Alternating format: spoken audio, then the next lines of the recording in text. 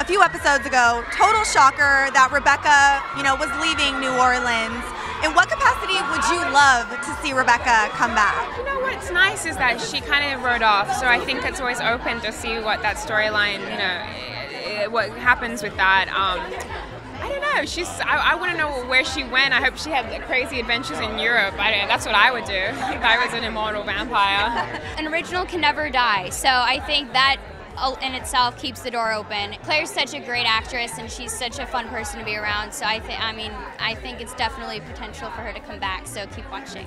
In your fantasy scenario, how would you like to see her come back to the show? Well, I want to see her come back in all of the ways that you would imagine for a show like ours. So, for example, we've seen characters in flashback. I would love to do some flashback episodes where we see the family in different eras and what their relationship was like not long after they became vampires in the 1400s, you know, where we met them in season four of Vampire Diaries.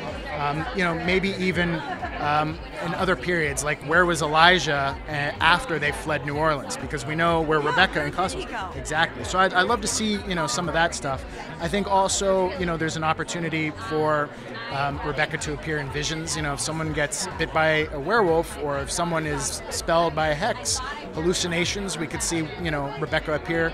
But I also think ultimately we want Rebekah to show up back in the show at some point and, and have a say in what's going on not only with the relationship between Klaus and Elijah, Uh, but with both brothers' relationship with New Orleans and what that might mean for Marcel. So there's definitely a lot going on. The brothers aren't going anywhere. I think we'll see Rebekah in all kinds of different ways, but ultimately having her return to New Orleans would be my okay. dream scenario. Good, that makes me happy. I think the beautiful thing that happened to Rebekah when she left is that she got her first taste of freedom that she's been talking about on the Vampire Diaries, that she's been talking about all year in the originals is I just want to live. You know, she wanted to be human on the Vampire Diaries. She wants a family. She wants all those things, and I'd like to think that she's off there trying to get them. And I think when we see her again, it will be you know an interesting question for us to ask. Like, well, what did you do with your time off? Like, is it one of those horrible codependent relationships where you're like, I'm out, I'm gone, and then you're finally like, gosh, I'm bored. You know, what am I gonna do without my crazy brothers? Um, or or did she you know buy a nice house with a white picket fence in the suburbs and meet a nice dentist? You know. Exactly. And of course, Davina, we've seen strides for her. She's growing in her power. She's making a comeback. Yes. Can you elaborate on what we'll see from her for the rest of the season?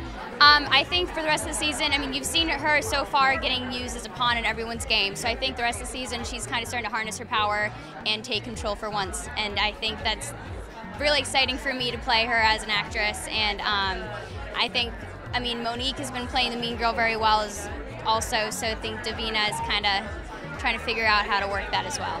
So when I came to visit the set, you had your little baby bump, which is definitely growing and growing. Are we going to be seeing a baby this season? Are we going to be hearing the cries of a little one? I hope so. I hope by the finale that happens. It would be really nice. I just want to see Klaus holding a baby. I think it'll be so beautiful to see this character. It's kind of such a villain have such a human moment with a child as a father, I think it would be really nice. And I know you've seen the script for the finale episode, but you haven't shot it yet, so you kind of have an idea of what's going to go down. How are we going to feel when the season ends? Are there going to be a lot of new questions? Are there going to be answers? I think that uh, when the when it ends, I think everyone's just going to be staring like just jaw dropped and um, i mean I, I read it and i was like it was like i was ripping my hair out because it's just it's just there's so much action and there's so much drama and just everything kind of just makes you anxious in a way. It's it's really exciting. I'm so happy. I can't wait until May. I have a little while. There's a lot of really really powerful stuff that happens at the end of the original season between the um, all the factions having made their big moves and try to get control of the quarter. It tears apart a lot of relationships and it actually puts a lot of people's lives in some fairly extreme jeopardy. So um, you, you kind of it's a guessing game up to the the bitter end of who's going to see the other side of it and who we're gonna you know who we're gonna hang on to for season two.